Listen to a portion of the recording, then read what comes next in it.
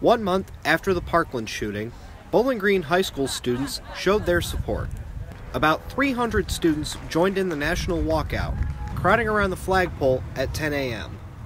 The walkout lasted for 17 minutes, one for each student killed in Florida. BG residents also braved the cold to show their support through cheers, chants,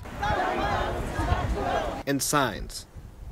Local police surrounded Poe Road in the area neighborhood to ensure the demonstration went on safely. This was only one of thousands of demonstrations that happened around the nation. I'm Nick Dombi, reporting for BG 24 News.